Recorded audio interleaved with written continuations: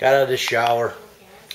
We're going to be going to uh, the store real quick. Somebody from my church had called and they need their medication, so I have to go get it. Walk down the street. Can't, both our cars are plowed in, so we can't move them until that's moved out. It's going to be maybe another day. Going to get medication for someone, parishioner at my church. So, then get some food. Got need some more food. It's payday Friday. And go get some more food at the store.